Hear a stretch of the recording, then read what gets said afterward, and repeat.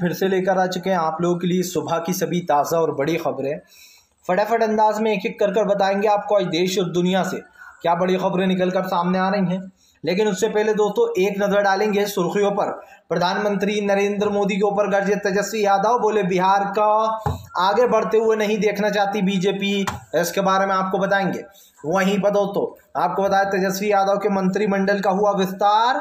जी हाँ मंत्रिमंडल के विस्तार होते ही दोस्तों बीजेपी ने बुलाई तत्काल में बैठक। ज़रूर कोई प्लान बनाया जाएगा अब सरकार गिराने का। इसके बारे में भी आपको बताएँगे। वहीं पर अगली बड़ी खबर में हम आपको बताएँगे दोस्तों, अरविंद केजरीवाल का बीजेपी के ऊपर बड़ा हमला। बोले, मैं देश को जीते जी नंबर वन देखना चाहता हूँ। हर देश के नागरिक को अमीर करना चाहता हूँ। इसके बारे में भी आपको बताएँगे। वहीं पर दोस्तों कर्नाटक में एक बार फिर से हिंदू मुस्लिम विवाद शुरू। दरअसल मॉल में पंद्रह अगस्त के दिन सावरकर की तस्वीरें लगाने के ऊपर ये बवाल हुआ था। बवाल थम गया था, लेकिन अब चाकूबाजी हो गई है। इसके बारे में भी आपको बताएँगे। वहीं पर अगली बड़ी खबर में हम आपको बताएँगे दोस्तों जी, दरअसल आपको बता दें, संजय रावत का सॉरी, संजय सिंह का बीजेपी के ऊपर हमला। बोले, देश की आज़ादी के लिए सावरकर ने कुछ नहीं किया, पर ये लोग सावरकर और गोडसे को पूछते हैं। इसके बारे में भी आपको बताएँगे। वहीं पर। अगली बड़ी खबर में हम आपको बताएँगे, राहुल गांधी का केंद्र सरकार के ऊपर बड़ा हमला, बोले सबसे ज़्यादा जातिवाद बीजेपी में ही है। इसके बारे में आपको बताएँगे, वहीं पर। अगली बड़ी खबर में हम आपको बताएँगे, दोस्तों जी दरअसल आपको बता दें, केसु केसु वेणुगोपाल का बीजेपी के ऊपर हमला, बोले देश में लोकतंत्र खत्म हो गया। वहीं पर। अगली बड़ी खबर में हम आपको बताएँगे, दोस्तों असदुद्दीन ओवैसी ने बोला बाबा रामदेव के ऊपर बड़ा हमला, बोले ये हमें सिखाएँगे देश प्रेम। इसके बारे में आपको बताएँगे। बाबा रामदेव ने बोला था कि ओवैसी आड़े टेढ़े ही बयान देता है हमेशा। इसके बारे में भी बताएँगे। वहीं पर अगली बड़ी खबर में हम आपको बताएँगे, मनोज झा का बीजेपी के ऊपर हमला, बोले बिहार में आरजेडी की सरकार बन गई है, आरजेडी और नीतीश की गठबंधन सरकार, इससे बीजेपी को लग रही है मिर्ची। वहीं पर जेपी नड्डा के ऊपर दोस्तों आपको बता दें, जमकर गरजते हुए नज़र आए हैं सीधे सीधे नीतीश कुमार उन्होंने साफ़ कह दिया कि सरकार पूरे पाँच साल चलेगी, कोई कुछ भी कर ले। इसके बारे में भी आपको विस्तार से बताएँगे। वहीं पर दोस्तों, भड़क उठे मुस्लिम समुदाय बिल्किस बानो के। 11 रेपिस्टों को जेल से रिहा कर दिया गया है। बताएँगे कौन थे ये लोग? और ये कब का मामला था? तो सारी खबरें फटाफट अंदाज में एक एक कर कर बताएँगे। फ़िलहाल फिर चलिए बढ़ते हैं सबसे पहली और सबसे बड़ी खबर की ओर। दरअसल दोस्तों, आपको बता दें, बिहार के मंत्रिमंडल विस्तार के बाद बीजेपी में लगी आग। जी हाँ बीजेपी बौखला उठी है। आपको बता दें दोस्तों, कल मंत्रिमंडल का विस्तार कर दिया गया। इसमें तेज प्रताप यादव समीद राजद के कई लोगों ने मंत्री पद की शपथ ली। तो उधर नीतीश कुमार के भी उनतीस विधायकों ने मंत्री पद की शपथ ली। अब यहाँ पर दोस्तों मामला शुरू हो जाता है। आपको तो पता ही है कि बीजेपी के सपने मुंगेरी लाल की तरह होते ये लोग सरकार बनती नहीं है कि उससे पहले सरकार गिराने का पूरा प्लान तैयार हो जाता है। अब आपको बता दें, कल जेपी नड्डा ने बैठक भी की बिहार में इस कैबिनेट के बाद। मामला ये नहीं है पूरा, मामला ये है दोस्तों कि बीजेपी नीतीश और तेजस्वी के एक साथ आने के बाद डर गई है।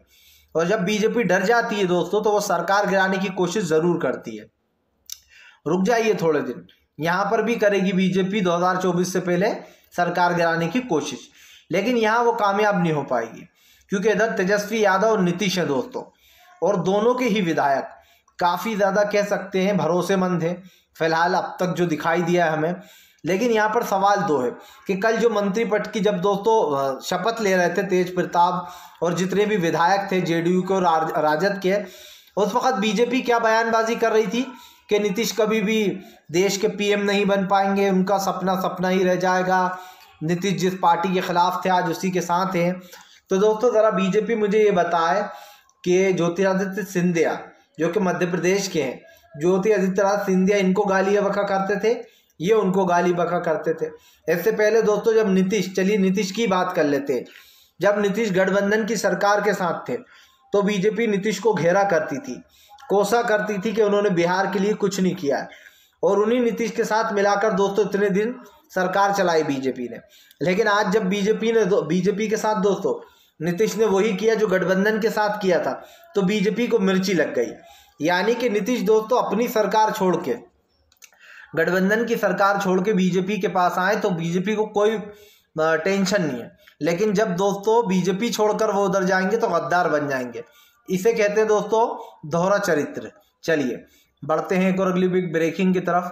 बता दोस्तों, अगली जो बड़ी खबर निकल कर आ रही है, आपको बता दोस्तों, कर्नाटक में फिर से एक बार बवाल शुरू। मुस्लिम युवक को दोस्तों, जी हाँ पहले दो मामले आपको पता होगा, याद आया होगा कि बीजेपी के एक नेता को दोस्तों वहाँ पर मार दिया गया था और उसके बाद एक मुस्लिम लड़के को चाकू घोप घोप कर मार दिया गया था। अब एक और मामला सामने आया है दोस्तों, ये मामला है सावरकर के फ़ोटो को लेकर। दरअसल पंद्रह अगस्त के दिन एक मॉल में फ़ोटोज़ लगाए गए स्वतंत्रता वीर सेनानियों की, जिसमें भगत सिंह, दोस्तों चंद्रशेखर आज़ाद और भी जितने लोग थे जिन्होंने हमारे देश के लिए दोस्तों बलिदान दिया, हमारे शूरवीर, उनके पोस्टर लगे थे। लेकिन दोस्तों भगवाधारी हिंदू संगठनों ने उसी के बीच में एक सावरकर की पोस्टर लगा दी। अब दोस्तों वहाँ पर जो मुस्लिम समुदाय के लोग थे, उन्होंने कहा कि भैया सावरकर की फ़ोटो क्यों लगाई जा रही है? सावरकर ने ऐसा देश के लिए क्या किया है? क्या बलिदान दिया है, क्या उसने देश के लिए लड़ाई की है, जो तुम सावरकर का फ़ोटो लगा रहा ज़ाहिर सी बात है दोस्तों, सावरकर एक ऐसा इंसान था जिसने दो बार अंग्रेज़ों के तलवे चाटे थे, हाथ जोड़े थे। और सावरकर को लेकर आए दिन ये बातें निकलती रहती हैं। अब जब ये फ़ोटो लगाई गई दोस्तों तो मामला इतना बढ़ गया कि मॉल के मालिक जो थे, उसने वो फ़ोटो वहाँ से हटवा दी सावरकर की। लेकिन उसके बाद दोस्तों विवाद खड़ा हो गया। इस मामले को तुल दिया जाने लगा। आप सबको पता है, कर्नाटक में बहुत जल्द चुनाव होने वाले हैं। और चुनाव से पहले हिंदू मुसलमान का एक एजेंडा तैयार करना बीजेपी के लिए बहुत ज़रूरी है। बस बीजेपी मौके की तलाश में थी और उसको मौका मिल गया। अब इस मामले को तुल दिया जा रहा है। बताया जा रहा है कि एक एक भगवाधारी को चाकू मार दिया गया है और चाकू मारने के बाद वहाँ का माहौल बिगड़ गया है। अब जो वहाँ के दोस्तों मंत्री साहब हैं, उनका कहना है कि ऐसा लग रहा है ये सावरकर की फ़ोटो को लेकर हुआ है। लग तो ऐसा ही रहा है। अब आप समझिए दोस्तों, बीजेपी के मंत्री कह रहे हैं, लग तो ऐसा ही रहा है। यानी कि दोस्तों, वो खुद चाहते हैं कि इसमें हिंदू मुसलमान वाला एंगल आए और ये साबित कर दिया जाए कि दरअसल ये जो हिंदू व्यक्ति को चाकू मारा गया है, ये इसीलिए मारा गया क्योंकि मुस्लिम समुदाय ने मारा क्योंकि सावरकर की हमने फ़ोटो लगा दी थी। बेसिकली बीजेपी का पूरा एजेंडा यही है। इस मामले को दोस्तों तुल दिए जा रहा है। और तुल कोई और नहीं, बल्कि वहाँ की सरकार खुद दे रही है। हालाँकि जन साहेब ने ये ज़रूर कह दिया वहाँ के मंत्री साहब ने कि अभी, हालाँकि हमें पूरा पता नहीं है, लेकिन लगता है ऐसा ही। है अब जब आपको पता ही नहीं है कि क्या हुआ है, पूरी आपके पास अभी तस्वीर ही नहीं है साफ़ साफ़ कि किस चीज़ को लेकर हुआ है तो आप कैसे कह सकते हो कि ये जो यहाँ पर सावरकर की फ़ोटो को लेकर हुआ है और उसी के बाद छुरी मारी गई है? अब आप अच्छे समझते हैं दोस्तों कि कर्नाटक में चुनाव है और एक एजेंडा बीजेपी के लिए हर साल बहुत ज़रूरी होता है। हर पाँच साल में जिस राज्य में चुनाव होने वाला होता है, वहाँ हिंदू मुसलमान ज़रूर होता है जब जब चुनाव आते हैं। चलिए, बढ़ते हैं एक और अगली बिग ब्रेकिंग की तरफ़। बता दोस्तों, अगली जो बड़ी खबर निकल कर आ रही है, आपको बता दें, गौरव बल्ला का बीजेपी के ऊपर बड़ा हमला। कांग्रेस के प्रवक्ता गौरव बल्ला ने निकाली बीजेपी की हेकड़ी बाहर। दरअसल दोस्तों, आपको बता दें, बीजेपी लगातार झूठ फैलाती है। बीजेपी में दोस्तों, अगर किसी चीज़ की कमी है तो वो है सच की कमी। आपको बता दें, गौरव बल्ला ने कहा कि कल नरेंद्र मोदी ने एक बयान दिया। वो बयान क्या था दोस्तों? वो बयान था कि कांग्रेस जो है, वो परिवारवाद बढ़ाती। यानी कि दोस्तों, अपनी पार्टी में कांग्रेस ने सिर्फ़ परिवार के लोग ही भर रखे हैं कांग्रेस में। ये आरोप बीजेपी बार बार लगाते हैं, खास करके नरेंद्र मोदी। लेकिन अगर असलियत में देखा जाए दोस्तों तो इस बात का कोई मतलब है नहीं, क्योंकि ये बात सरासर झूठी है। गौरव वल्ला ने बीजेपी के नेताओं के बेटों के नाम गिना डाले। सबसे पहला नाम दोस्तों मैं आपको पहले भी बता चुका हूँ। गृह मंत्री अमित शाह का बेटा जय शाह, जिसको बीसीसीआई का चेयरमैन बना दिया गया। जिसको दोस्तों इंग्लिश तक पढ़ना नहीं आती। जो बंदा इंग्लिश ऐसे पढ़ता है जैसे कोई पहली क्लास का छोटा बच्चा पढ़ा हो हकला हकला के। उसके बेटे को बीसीसीआई का चेयरमैन बना दिया जाए। ये एक बहुत ही बड़ी बात है। गौरव वल्ला ने कहा कि रक्षा मंत्री राजनाथ का बेटा पंकज सिंह राजनाथ, उसको दोस्तों बीजेपी ने उत्तर प्रदेश से खड़ा किया और वो चुनाव जीत भी गया। टेनी मिश्रा का बेटा, दोस्तों अजय मिश्रा का बेटा टेनी मिश्रा। ये जातिवाद नहीं है तो फिर क्या है? जितने भी और नेता है दोस्तों, उनके बेटे भी बीजेपी में ही हैं। ऐसे पहले आपने देखा होगा जो चिराग पासवान का फादर थे दोस्तों, पारस पासवान और जो चिराग पासवान दोनों ही राजनीति में थे, क्या ये जातिवाद नहीं था? यानी कि दोस्तों, बीजेपी के नेताओं के बेटे, अगर पार्टी में है तो उसे जातिवाद नहीं किया जाएगा।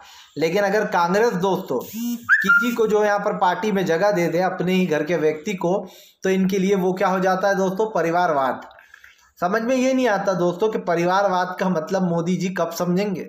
आपकी पार्टी में जो आपके ही मंत्रियों के बेटों ने बड़े बड़े पद ले रखे हैं उसको कहते हैं मोदी जी परिवारवाद। आप समझिए दोस्तों, कांग्रेस का कोई भी व्यक्ति पिछले ये मानकर चलिए पैंतीस साल से कोई भी जो है यहाँ पर पार्टी का हिस्सा नहीं बना है। सिर्फ़ एक राहुल गांधी और सोनिया गांधी हैं जो पद संभाल रहे हैं। पीएम के पद पर दोस्तों अब तक कोई नहीं बैठा है गांधी परिवार से। इससे पहले भी आपको याद हो, मनमोहन सिंह साहब लास्ट प्रधानमंत्री थे कांग्रेस के। और उन्होंने देश के लिए जो किया है ना दोस्तों, वो आप और हम बखूब समझते हैं। भले ही बीजेपी उनको बदनाम करती रहे, लेकिन सब जानते हैं कि अगर मनमोहन सिंह साहब नहीं होते तो देश की इकोनॉमी इकोनॉमी और दोस्तों देश का, कह सकते हैं कि पूरा जो भार संभाला था ना, जो रुपए ने उछाल मारी थी, वो मनमोहन सिंह साहब के राज में ही उछाल मारी थी। चलिए, बढ़ते हैं एक और अगली बिग ब्रेकिंग की तरफ़। बता दोस्तों बिल्किस बानो के ग्यारह रेपिस्टों को जेल से किया रिहा भड़का मुस्लिम समुदाय। आपको बताते चले दोस्तों, गुजरात दंगे आज भी आपको याद होंगे।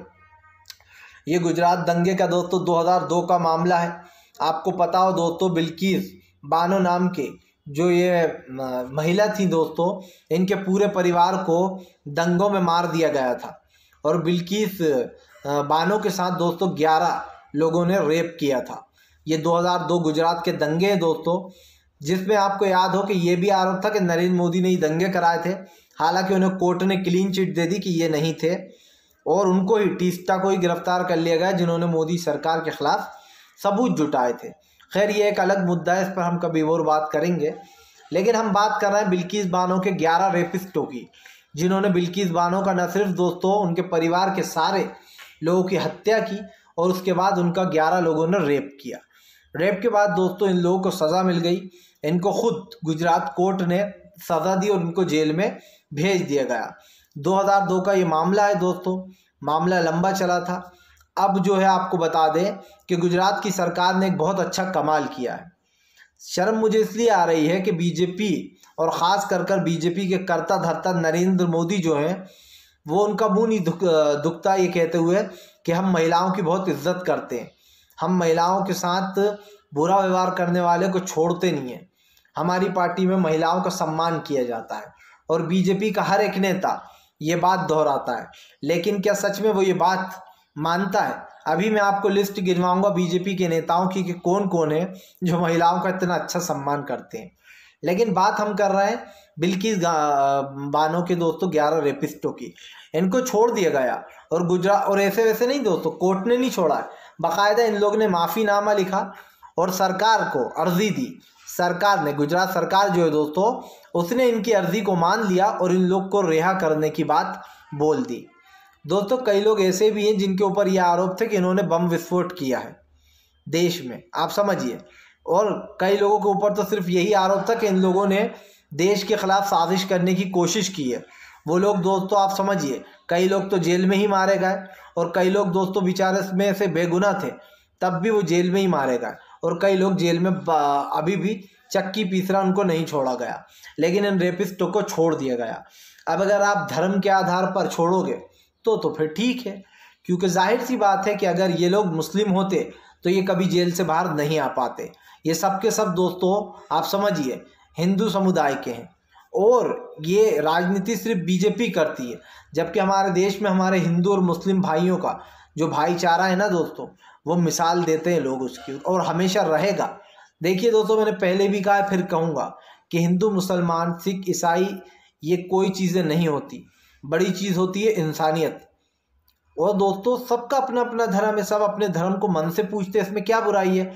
किसी का कुछ धर्म है, किसी का कुछ धर्म है। हमें किसी के धर्म में बोलने की ज़रूरत नहीं है। लेकिन मैं सिर्फ़ आपको बता रहा हूँ कि अगर दोस्तों ये हिंदू की जगह मुस्लिम होते तो ये अब तक जेल में पड़े हुए होते और इनको लगातार सज़ा मिल रही होती तब तक, जब तक ये जेल में मर नहीं जाते, जब तक इनकी लाश बाहर नहीं आ जाती। लेकिन एक अकेली बेचारी महिला के साथ, उस वक़्त दोस्तों बिल्किस की, बिल्किस बानो की उम्र बहुत ही ज़्यादा कम थी। लगभग ये मानकर चलिए अट्ठारह, उन्नीस साल की रही होंगी है और दोस्तों, उस वक्त ग्यारह लोगों ने रेप कर दिया दंगों के दौरान। अब आप समझ सकते हैं कि किस तरीके का माहौल रहा होगा उस वक्त गुजरात में। लेकिन जब नरेंद्र मोदी को क्लीन चिट दे दी गई तो ऐसे रेपिस्टों को तो खुला छोड़ा ही जाएगा। आप समझिए। अब बीजेपी कहती है कि हम महिलाओं का सम्मान करते हैं। अब ज़रा नाम गिनते जाइए। श्रीकांत त्यागी, दोस्तों। ये बहुत अच्छा महिला का सम्मान करता है बीजेपी का नेता है। अभी इसका वीडियो भी वायरल हुआ था। महिला को धक्का दे रहा है और गालियाँ दे रहा है। कितना अच्छा सम्मान करते हैं बीजेपी के नेता।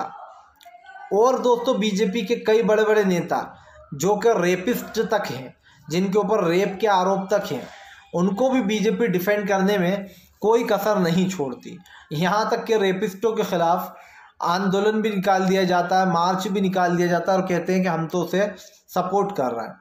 ये एक पल के लिए ये नहीं सोचते कि ये लोग किसको सपोर्ट कर रहे हैं। उन्हें सपोर्ट कर रहे हैं, जो महिलाओं का रेप कर रहे हैं।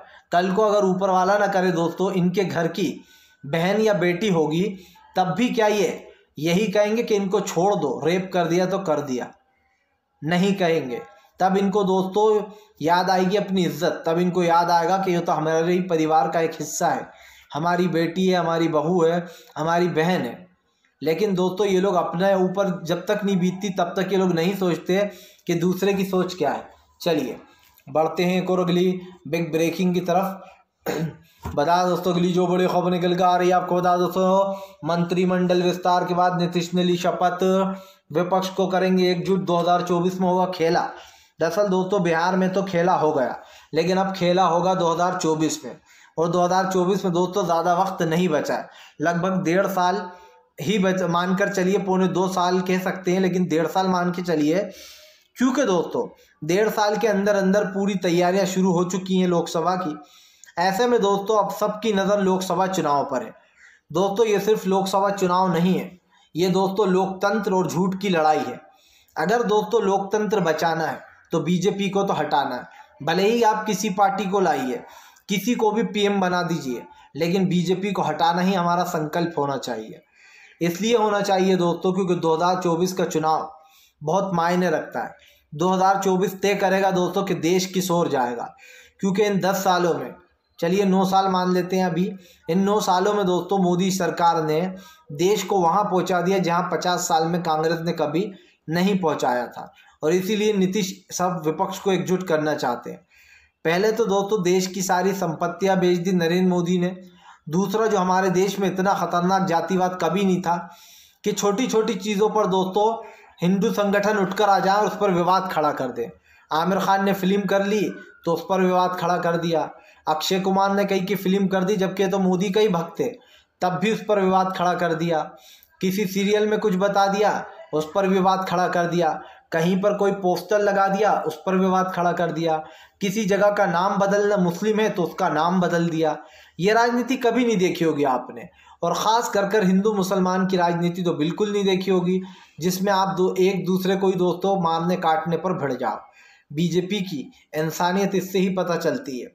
इसीलिए दोस्तों बिहार में जो सत्ता परिवर्तन हुआ है, वो विपक्ष के लिए बहुत ही दमदार और बहुत ही सॉलिड है। अब मैं इसको सॉलिड क्यों कह रहा हूँ?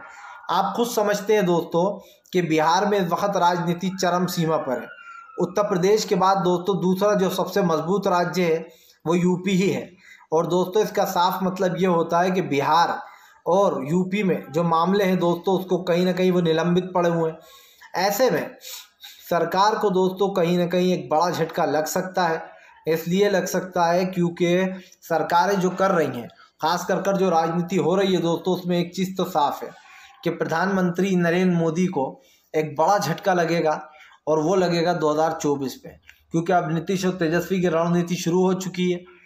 फ़िलहाल हम तो यही कहेंगे दोस्तों आपसे कि अगर हमारा वीडियो अच्छा लगे तो इसको लाइक कीजिए, चैनल पर पहली बार आए, सब्सक्राइब कर लीजिए, ताकि आगे भी इस तरीके की वीडियोज़ आपको मिलती रहे और आप सच्ची खबरों से